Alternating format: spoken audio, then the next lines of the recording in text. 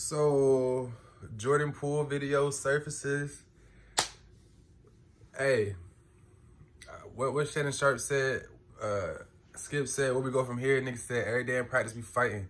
No cap. Like, I don't care that nigga said me a ball screen. I'm gonna come out that bitch and punch his ass in the back of the head. Like, what? Nah, that ain't. I don't know what that was, but that shit wasn't right. that shit was not right.